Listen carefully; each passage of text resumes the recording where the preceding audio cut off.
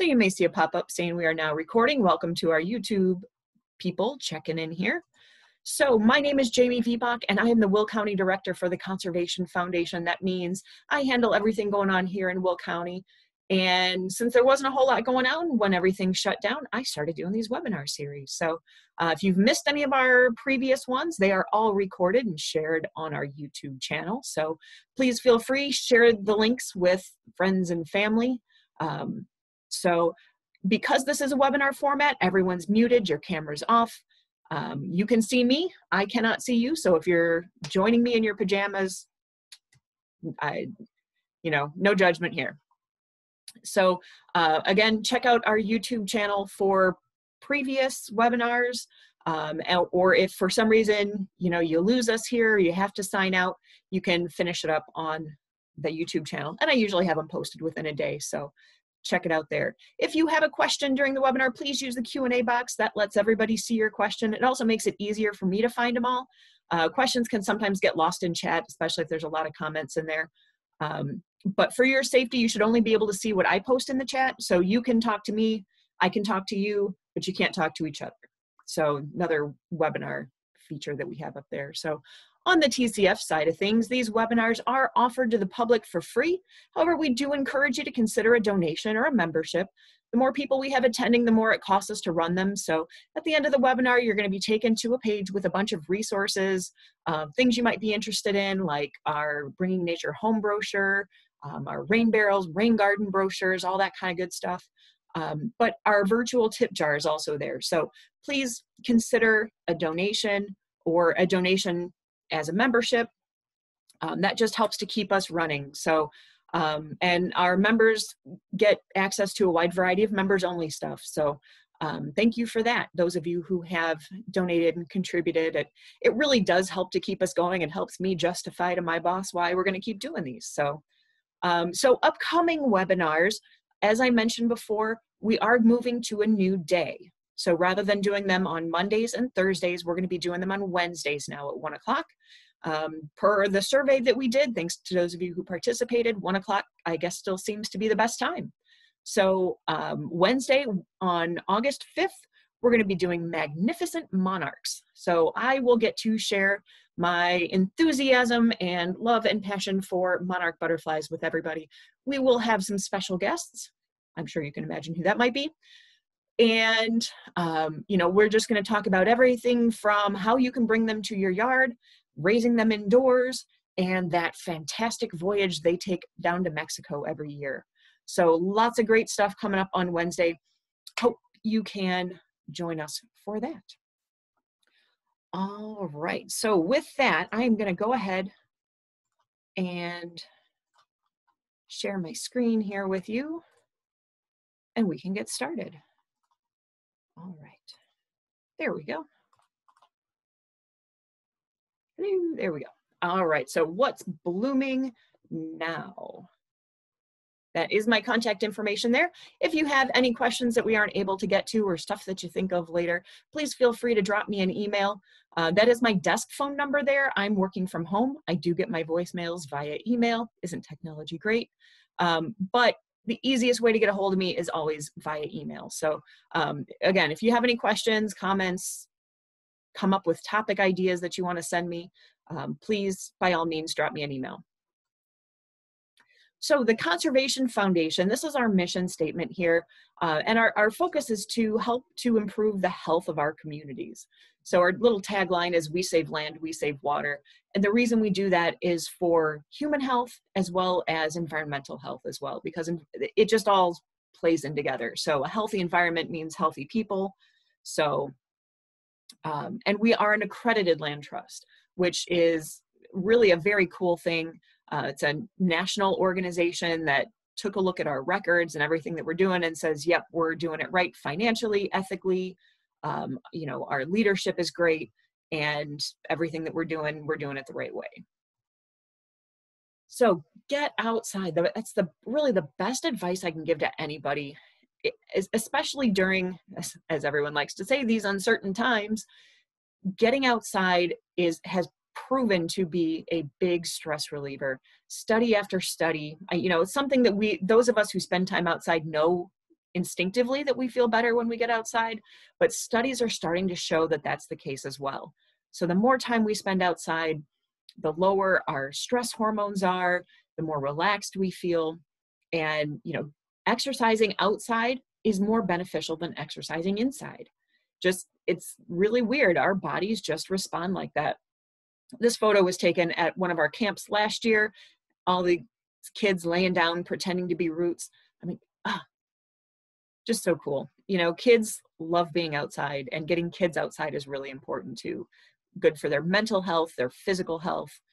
It's just good. So get outside. And today we're going to talk about what are we going to see if we go outside right now? What's blooming? Well, summer on the prairie is, is probably the best. It's, it's really when the prairie looks its best because there are so many things blooming right now. Um, I've got a list of things that we're going to talk about. I'm going to share some of my favorite plants with you that are blooming right now, but just know that this is just a short list. There are tons and tons of things I'm not even going to get to. Um, so I'm going to talk about some of the more common things you might see if you were to go out, say, into a forest preserve right now, or if you have native plants in your yard. Um, you know, if you have these, this is what what's blooming anytime we talk about planting plants in your yard, planting natives, um, you really want to look at making sure you have things that bloom all year long. And so that was another thought I had in my head when I was putting together this particular repeated webinar was let's take a look over time and see how things change. And to give you ideas on when you're planting in your yard, make sure you have some of each of these so that you've got things blooming all year long. A, because it's pretty, and hey, we want our yards to be pretty, but also because for the pollinators that depend on the flowers, having things that bloom all throughout the growing season is really important to them. So having things that bloom in the early spring for those first pollinators that get here and those first ones that emerge early, and having things then that bloom late into the fall as the monarchs are migrating through and uh, all that kind of stuff. So we want to have those thoughts in our head as we're designing our gardens for many, many reasons. So let's take a look at some of my favorite plants that are blooming right now. So no garden is complete, in my humble opinion, without a little milkweed. So there are seven species of milkweed. I've heard as many as 30 something, but really seven main species. For the garden, there's really three. So common milkweed is the one that you're going to see grown on the roadsides and the forest preserves. Be careful putting this one in your yard only because it spreads. If you have room for it to take over a large patch, by all means, but know that it's going to get six or seven feet tall if it's happy. And it's going to spread. It spreads by rhizomes, those underground roots that just sort of like spread out and then new plants pop up. Um, but also, it's a very prolific seed producer. So I planted one in my rain garden. I now have 14, like three years later.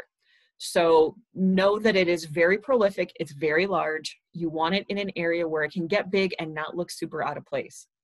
Now, there are ways of keeping it more under control if it's in your garden, such as cutting it by a third in June. That'll make it not grow quite so tall and a little bit bushier, but anyway. So this is one that you're gonna see blooming. Um, it, it's getting towards the end of the bloom and the seed pods are starting to form, but if you can find one that's still in flower, smell it that little cluster of flowers is like the most beautiful perfumy smell ever. I love it. So really stop and smell the flowers on that one because it's fantastic. Butterfly milkweed or butterfly weed is another member of the milkweed family. Um, it's got those bright orange flowers on it. Very, very striking when you see it in somebody's garden. I actually took this picture in my dad's yard. He planted this one. Normally, I, I, I say they grow up to about knee high, but if they're really happy, they can get more between like knee and hip high. So, um, you know, but this is a great, much more controlled type of milkweed if you're going to plant it in your yard.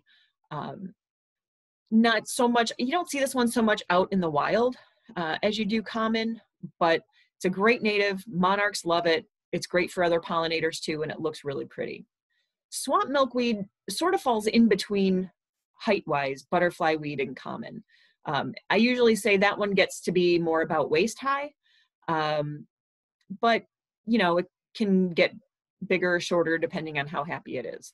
But it's got really pretty, striking um, purple flowers on it like that. So um, another one, lots and lots of pollinators love it. Another one that monarchs will lay their eggs on. So really great plant to have out in your yard. All right, the cone flowers. So there's several different types of cone flowers and, and I included the scientific binomials on these just because if, if you're trying to learn your plants, it's a good idea to learn the scientific names as well. Um, the common names can vary from region to region, and sometimes the same common name is used to describe three, you know, three or four different plants, depending on where you are.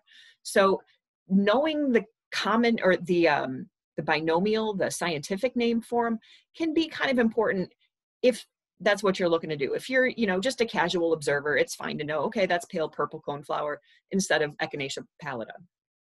But it also helps you to understand the families and how the families interrelate. So even though I included gray-headed coneflower in there because the common name is a coneflower, you'll notice it's a completely different genus than the other two. So they kind of look the same, but they're actually not that closely related. So um, pale purple coneflower and purple coneflower have the same genus. They are closely related, um, but you can see kind of some of the differences between them. Um, pale purple coneflower, those petals really droop a lot more than purple coneflower that are not quite so droopy. Um, but insects love these. So bees, butterflies. Um, I was at the uh, garden that we put in, a pollinator garden we put in down in Morris yesterday. And the purple cone flowers were fully in bloom and uh, butterflies and, and um, you know, little bumblebee bees and everybody was enjoying them. So very, very good pollinator plant there. So um, Greg wants to know, do coneflowers propagate by seeds? Yes, they do. Um, these I hesitate to say this, I, I'm fairly certain I read that they are um, kind of an annual, but they reseed themselves so prolifically they just come up year after year. So they kind of behave as a perennial, even though that individual only lasts for one year. So um, just something to keep in mind there too if you're if you're planting them. So um, Sandy, if my picture is there, you can actually move where my picture is on there. Um, you can just kind of grab it and pull it up if you can't see it. That's not something, unfortunately, that I can control on your screen. All right, moving right along. Our next ones that are blooming are the Rudbeckias, Black-Eyed Susan, and Brown-Eyed Susan. A lot of folks aren't aware that there are actually two different species, but they are different um, even though they're both Rudbeckias. Um, the black-eyed Susan, super common. I, I always consider this, along with coneflower, to be one of the, um, uh, like a starter native. So people who are just getting into native plants, who aren't that familiar with them, like they're cool putting these in. Like this is a familiar thing. So um, a lot of people will put these in um, just as one of the first things that they get to.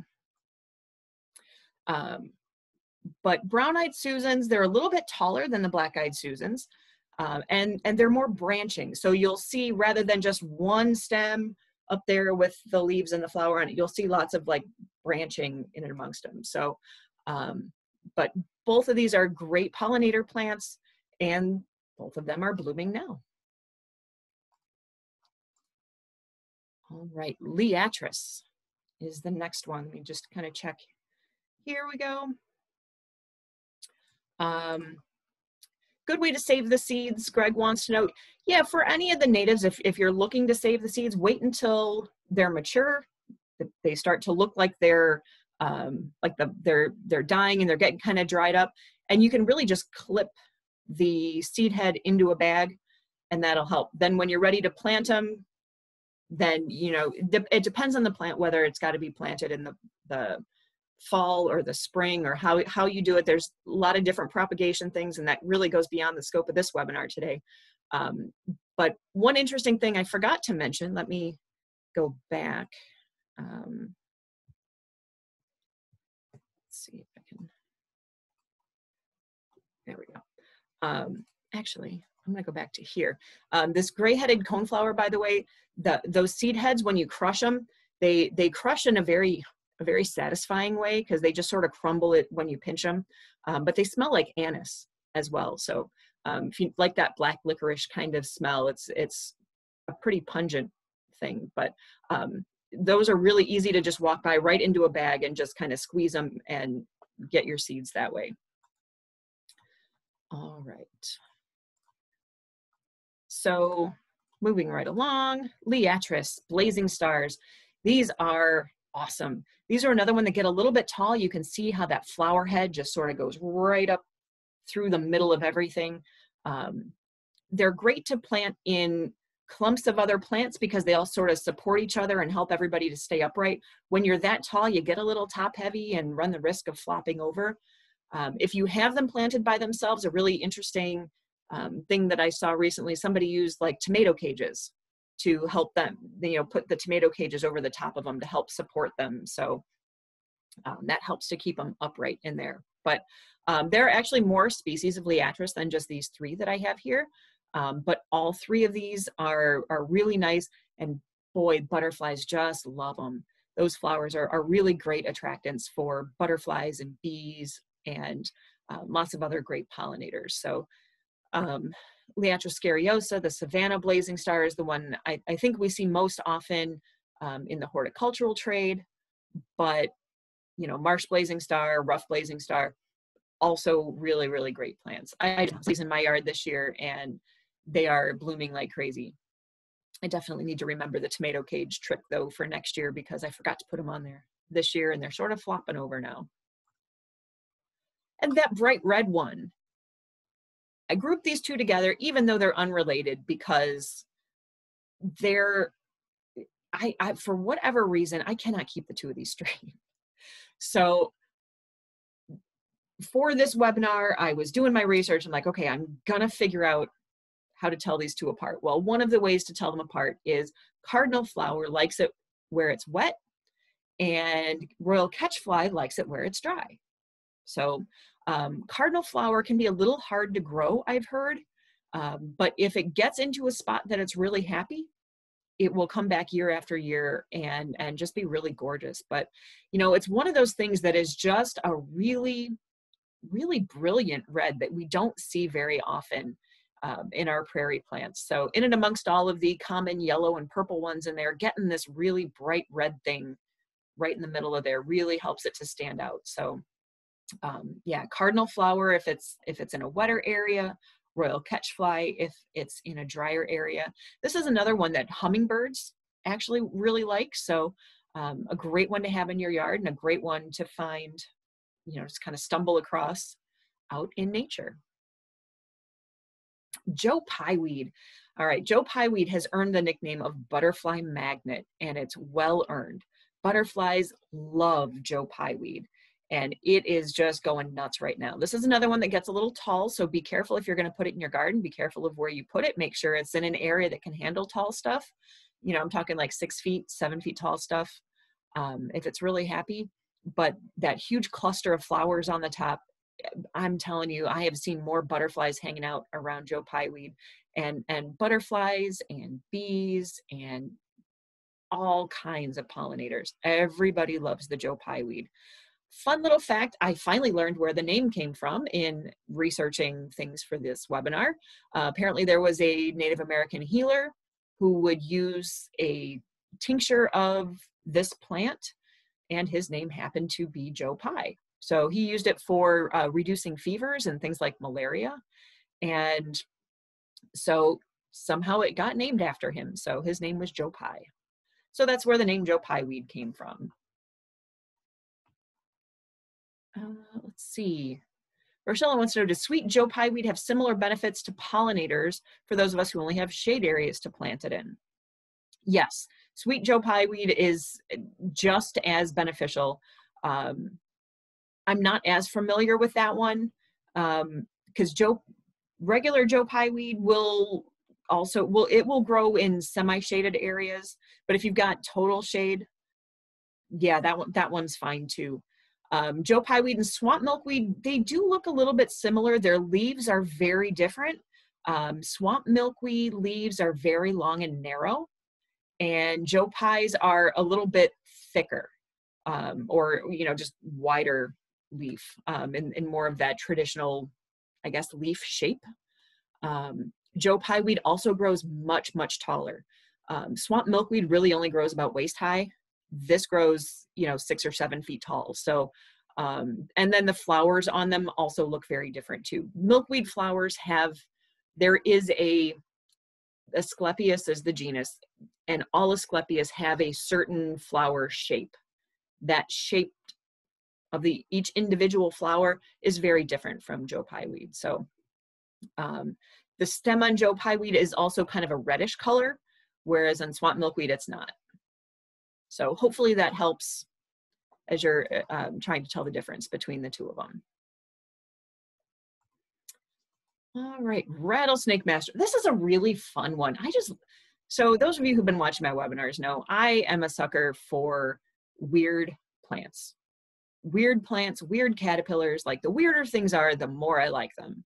Um, this is such a unique plant. There is absolutely nothing else like this here on the Illinois prairies. Um, if you look at the species name, that yuccafolium literally translates to leaf like a yucca plant. We don't grow yucca plants up here generally. They're not native anyway. Um, but this guy looks just like a yucca plant. Not as, as sharp and pointy maybe as an actual yucca is, but um, yeah, the leaves just look like it. And and check out that flower. I mean, how bizarre is that flower? They're um, yeah, it's just they're so cool. And this is another one the pollinators absolutely go nuts for. I mean, this is a really great time of year if you're a butterfly, right? There is just the world is your buffet right now if you are a butterfly because there is just so much out there to eat. So um, yeah, rattlesnake master is just, it's such a cool, cool looking plant. Um, and the name rattlesnake master comes because they used it to treat rattlesnake bites back, um, you know, in the days of the, the early Native Americans um, and the early pioneers that were out here, um, the European settlers. It was used to treat rattlesnake bites. I don't know what compound in there was supposed to help with it, but uh, that's that's where the name comes from. All right, silphiums. Okay, silphiums are also really cool.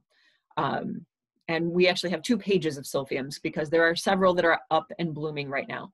Silphiums as a genus are huge they get really, really big. This is another one I don't recommend for a front yard, except in, you know, some, some very specific cases. If you have a, a big fence line you're looking to cover up, go for it. Um, or, you know, a big prairie installation in your yard, something like that, then go for it. But otherwise, this is not real, things in the Silphium family, with some exceptions, um, aren't always great for your yard uh, cup plant especially. I love cup plant because it gives me a chance to use my favorite botanical term, which is the perfoliate leaf, which means the, the stem goes right through the center of the leaf. So if we have the leaf here, the stem is right in the middle of the leaf. You can kind of see in that picture there. And what that does, that's where the common name comes from, cup plant, is because that where the stem goes through will actually hold on to water. And so for things that live on the prairie during those hot, dry parts of the summer, they can actually find a water source in that plant. So you'll often see all different kinds of butterflies and, and other insects using that to get water because of that little cup that's in there. But this guy can grow seven or eight feet tall.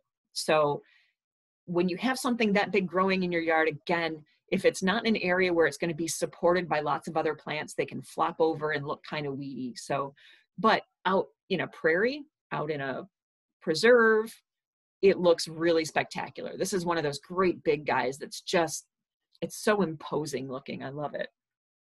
Compass plant, the other one we have here. Now the leaves of this grow close to the ground. So this is one you can kind of get away with um, a little bit more in your yard, but it will put up that stalk with all the flowers on it that are again six or seven feet tall. So um, just be aware that that's going to happen.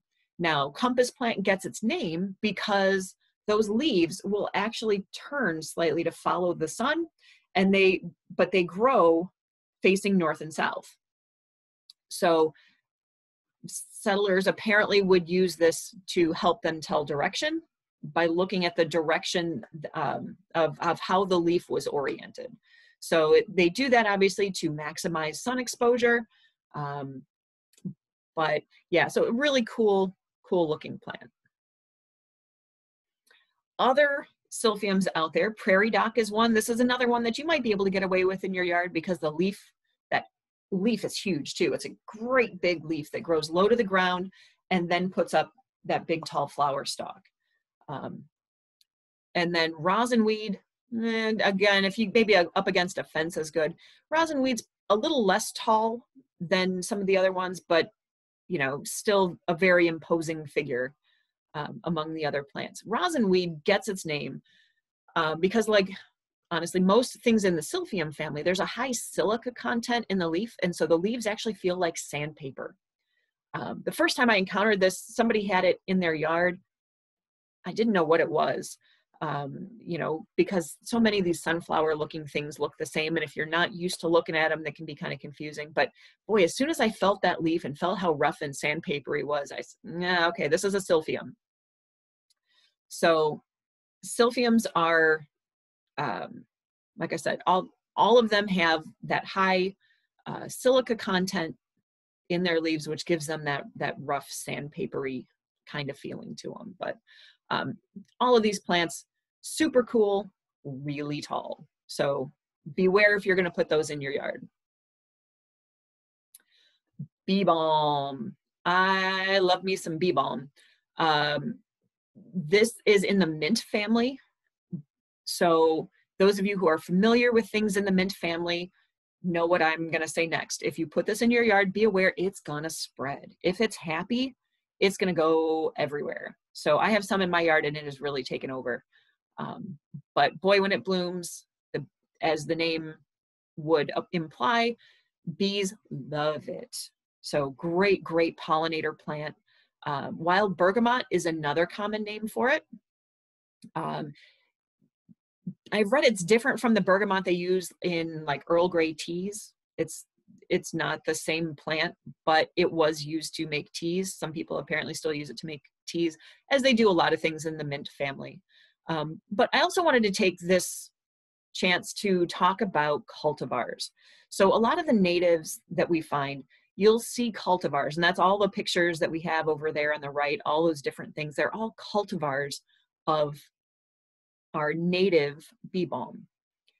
When they make cultivars, they crossbreed different things, different plants that have traits that are mutations. So they find a plant that has a mutation they like, and they try to emphasize that mutation, either by having double flowers or different colors or maybe it blooms at a different time or i mean look at that one right on top there that kind of green and purpley and yellow one there i mean that looks totally different from the original uh, monarda flower and, and you know they do that to be more attractive to gardeners but also because they can um, sort of trademark that plant uh, it's probably not the right term but you know basically they can own that cultivar and sell it at a premium so you're paying more for it. The downside of it is a lot of times when we mess with the flowers, they become unrecognizable to the pollinators.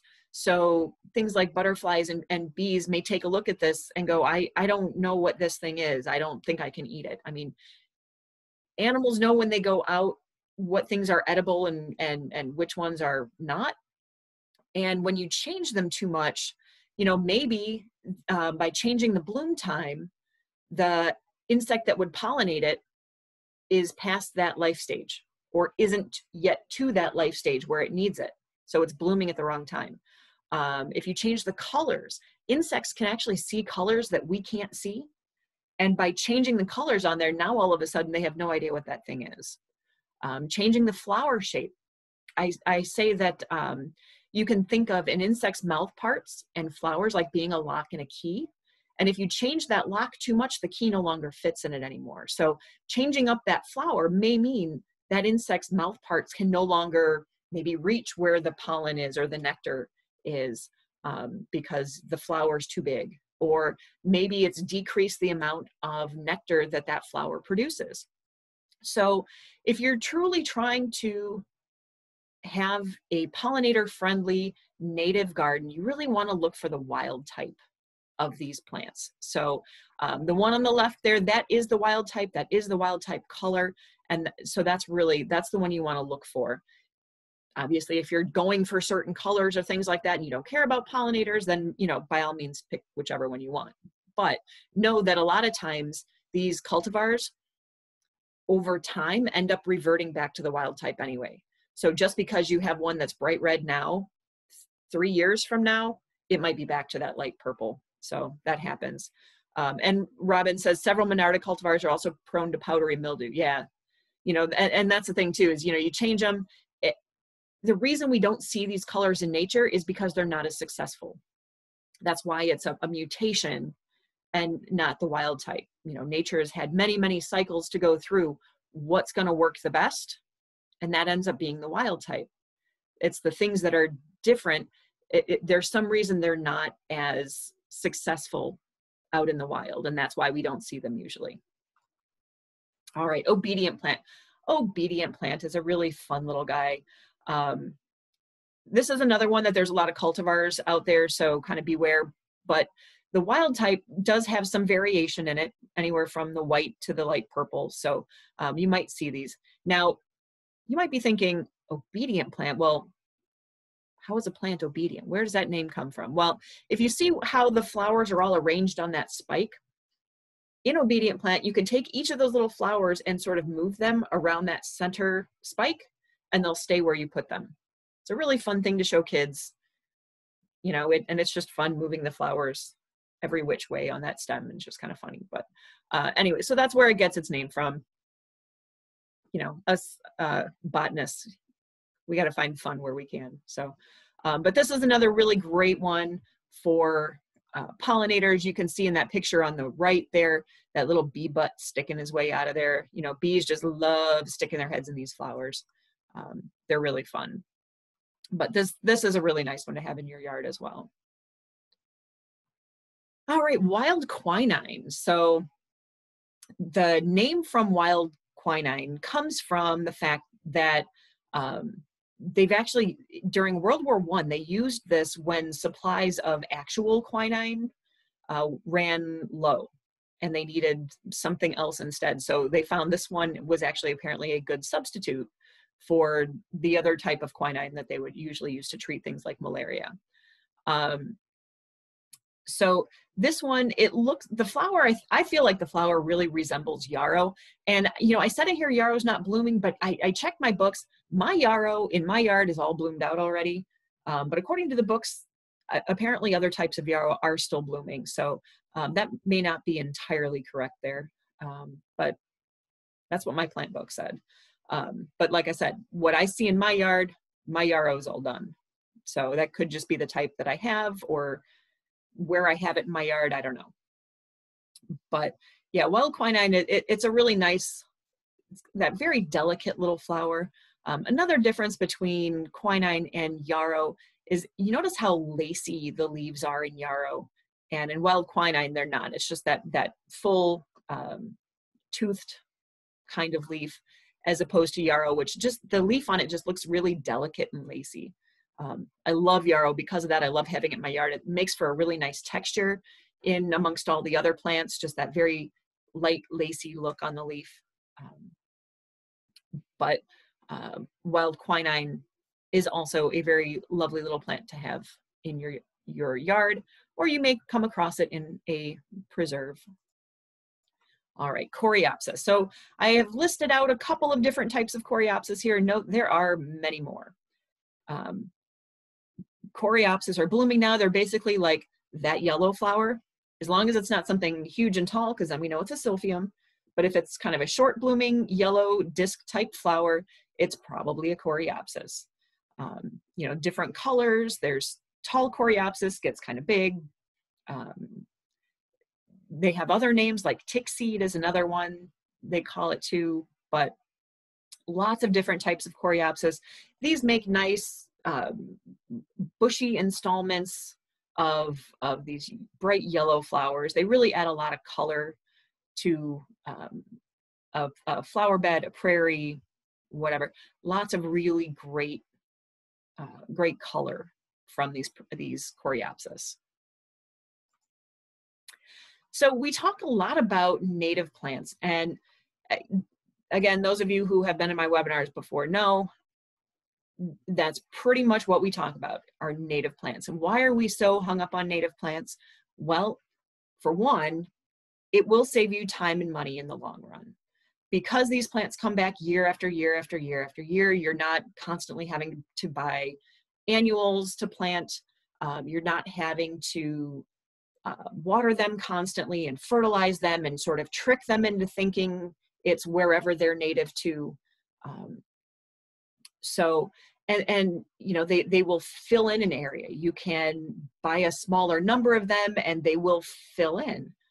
So they save you time and money, but also when you have this, now you have this. So those caterpillars eat the native plants, and it's okay. Studies have shown that native insects, notice I said native insects, we're not talking about Japanese beetles or um, emerald ash borer, things like that. We're not talking about the invasive stuff. But native insects will do about 20% damage to a plant. Studies have shown that most people feel that they need to start treating a plant around 50% damage. So they'll do a little bit of damage, but we're okay with that because that's what we're trying to do. We are trying to feed um, our pollinators, whether it's the adult forms with the pollen and the nectar, or their younger caterpillar forms um, with the leaves and all of that. So we bring in the caterpillars. So now we've got the caterpillars and the butterflies, but now we're bringing in the birds too, because birds eat the caterpillars. And those caterpillars are like they're like chicken nuggets for their babies, right? They're nutrient dense, they're soft. You know, if you ever watch a, a parent bird feeding the young, they just, it's so violent looking. They just sort of cram that thing down the baby bird's throat. And so caterpillars are nice and soft bodied, super nutrient dense. I've heard that it's more dense than beef. There's more nutrients in them than in beef. So it's, you know, super nutrient dense, great food for their young. So we bring the native plants in, that brings the insects in, the insects bring the birds, the birds then bring other birds in too. And, you know, while we don't like to think about our songbirds and all that being eaten, everybody's got to eat. And boy, I'll tell you, I just love seeing the hawks around my yard. It's, it's so cool to watch them fly and to see the power in them. They're so cool. And so now, instead of your yard being apart from the ecosystem, you're a part of the ecosystem you're helping all of these native things who have been displaced because of building and you know the new target that was put up and whatever um, you're you're helping to give them space and give them food give them shelter what they need so if you are going to bring some of these plants into your yard there's a few things to think of what is the area like that you're planting in is it full sun full shade or is it somewhere in between is it wet or dry? Or maybe it's mesic. Mesic is a term you're going to see um, when they talk about plants. It just it's that Goldilocks thing. It's that it's not too wet, not too dry. It's sort of right in the middle there. Um, are there trees that are going to cast shade as they grow up? Um, we my story I tell kind of on myself now is we have a berm on the side of our house that when we moved in, it had like three half dead pine trees in it, and that was pretty much it. Um, so we took out the half dead pine trees and we put a couple of other small trees in place, but you know, this berm's now in full shade or full sun.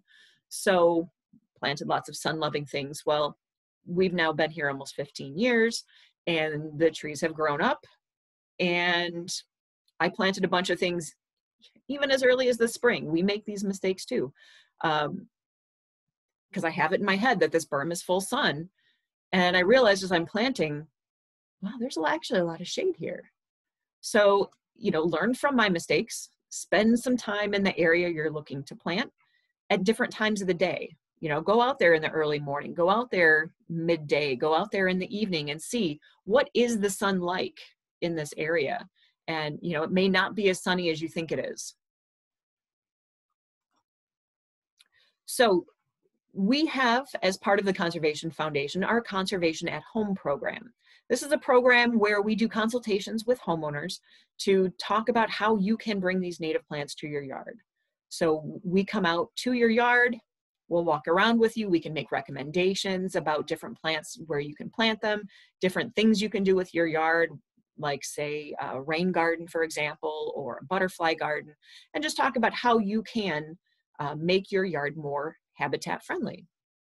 And this goes for those of you who are within our service area of Kane, Kendall, DuPage, and Will counties. But if you're outside of our area, we do have a few um, franchisees like that do our conservation at home program. So you can see here, um, these are the folks to contact if you are outside of our area.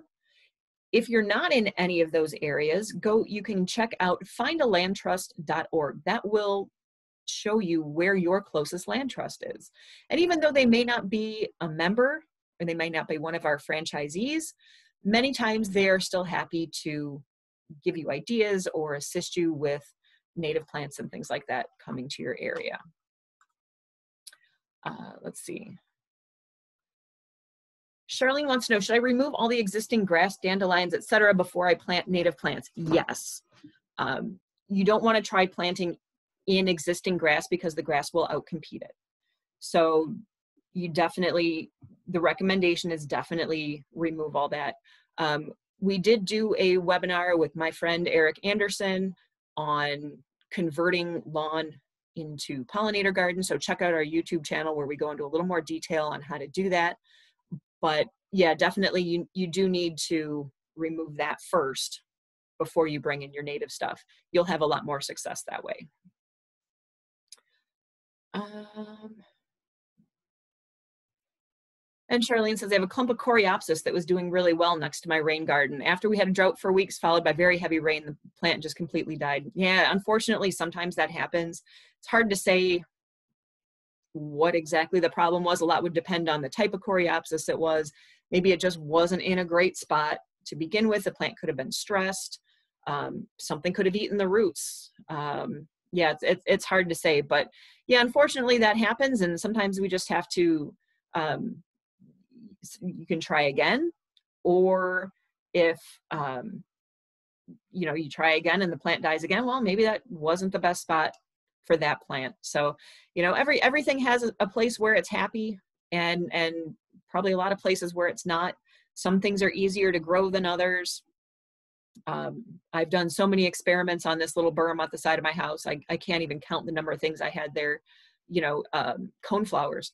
There's one spot in that berm that can grow cone flowers, and they've died everywhere else I've put them, or haven't come back since they are um, annuals. But um, yeah, that you know, it's just unfortunately that's how it goes. Sometimes it's it's trial and error. Sometimes it's the soil there's something maybe the soil is too acidic or the soil um, is too basic too much water not enough water who knows you know there there are so many things that that can happen and it's it's just trial and error um, i always jokingly refer to what i do as cage match gardening i buy two or three of different things that i like i throw them in an area and whoever survives can stay so um, is it the best way to garden? No, probably not.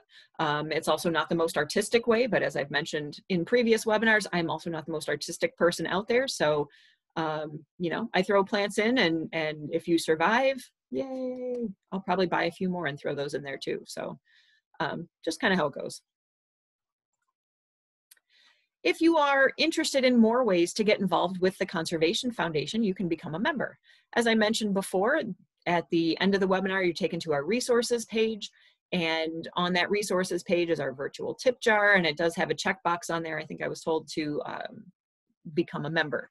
So you can choose to become a member or just make a one-time donation, whatever you'd like to do.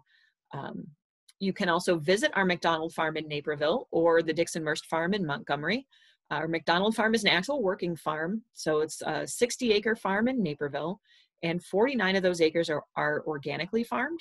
Um, and we have a CSA type program uh, that feeds over 500 families. So you buy a share of the produce and you can come every week or every other week and pick up a selection of fresh vegetables grown right there. We are sold out this year. This is the first year that has happened. It was insane. Uh, but apparently, with COVID, everybody wants to know where their food's coming from. So, um, if you are interested, I think they open up shares for purchase again, like towards the end of the year for the following year. So, you can always do that. Um, or you can just come and visit. We have a children's garden, we have a wild edibles garden, uh, we have restored prairie, uh, restored stream habitat. Um, it's it's really a cool way to come out and walk around. So it is private property. We we aren't really open to the public, but we don't mind if people want to come walk around and check things out. As long as you stay out of the farmer's way, it's fine. Uh, and then our Dickson Murst farm in Montgomery is more of a historic farm. So some farm buildings there. Normally they would have um, lots of events and things going on there throughout the year. But um, so I'm not sure what all they'll be able to do this year, but it, it's a pretty cool place. So, um, and you follow us on social media by all means uh, Facebook, Insta, all of that. Uh, Facebook, you'll see all of the upcoming webinars on there as well. So, um, if you want to check out future webinars, that's the place to go. Uh, and then you can get certified. You know, drop us a line and we will get you certified um, or we will help you get certified in your yard. So we'll answer a few questions along the way, but if anybody's got any other questions, I am happy to answer those as well. Um, let me open up the chat box here again. So um, thank you to those of you who dropped in today. Um, as always, I do appreciate this attendance. I'm always blown away by how many people want to uh, listen to me ramble on about plants or birds or bugs or whatever I feel like talking about. Um, so let's see, take a look. There's any questions. Um, but um, again, let's see. Oh, you guys are so welcome. Thank you for the thank yous. It does, it, it, it really does warm my heart to see all the interest that everybody has and to um, see everybody who is interested to in um, learning more about our native plants. Um, Bonnie, yes, all of our webinars are recorded. I will upload it to YouTube later on today.